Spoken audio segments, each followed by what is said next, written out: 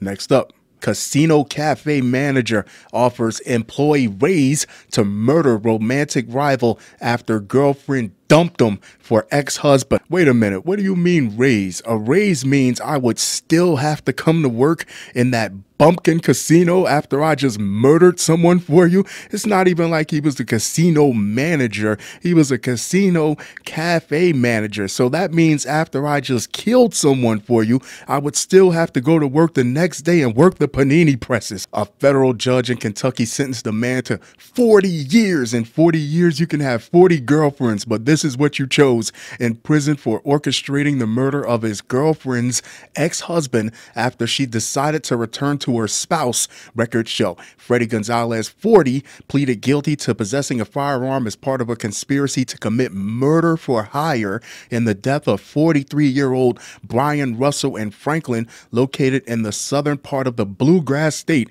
Gonzalez, a manager at a cafe at the Kentucky Downs Casino and Hotel, hired one of his employees employees to murder Russell. The employee, Xavior Posey, the dumbass that he is, shot Russell to death at the victim's home on December 30th, 2020. The failure of it all, though, you caught this woman coming out of a split. Then, after being with you, she realized that there wasn't a damn thing out there for her in these streets. She didn't try to find another boyfriend. She didn't test the market. She went rocketing back to her ex husband. You made a divorced woman want to run home and put her marriage back together. A true testament of a horrible human being. Then on top of that, you set a whole nother person to handle your relationship problems. According to prosecutors, Russell and his ex-wife were high school sweethearts who were married for 16 years and had two kids together. In 2018, they separated and divorced, but maintained contact to co-parent their children. She began dating Gonzalez in 2020,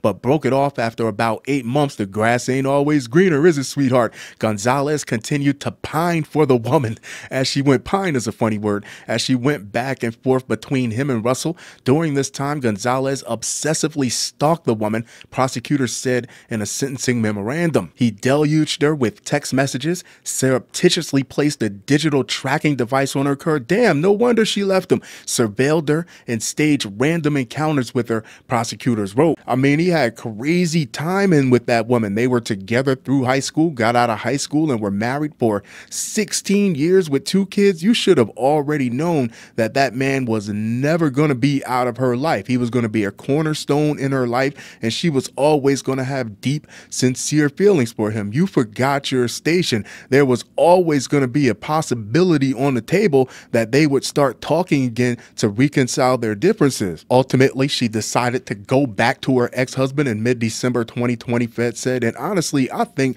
that it was a win for him that she even stayed with him for eight months, stayed with him for that long before she decided to start heading on back to her ex husband. But apparently, he didn't see it that way. And enraged, Gonzalez told Russell he had a gun and threatened to kill him.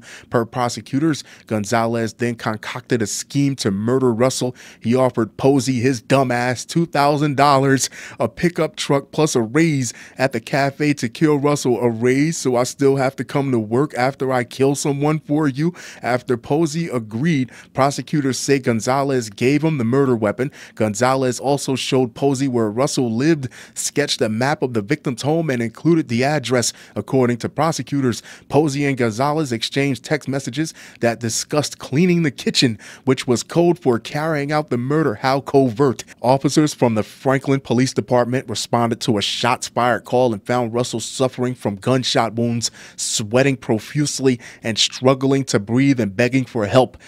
Wrote paramedics rushed Russell to the hospital where doctors pronounced him dead. Later that day, Posey texted Russell, Posey, did I not clean it good enough? These are two idiots. They act like nobody's going to be able to figure out what they're talking about. Gonzalez, I haven't heard from anyone. It was clean B she. What?